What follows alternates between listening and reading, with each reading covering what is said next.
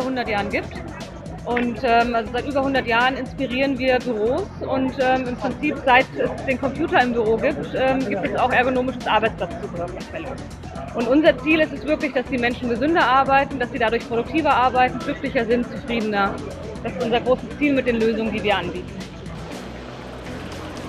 Das Wichtige ist, dass sich der Arbeitsplatz nach dem Menschen richtet. Also man muss immer von dem Menschen ausgehen.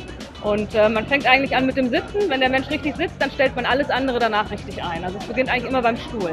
Und bei vielen ist es dann so, dass dann eben die, die Tischhöhe eines normalen Standard-Schreibtisches eben nicht mit der eingestellten Stuhlhöhe zusammenpasst und dann muss man korrigieren.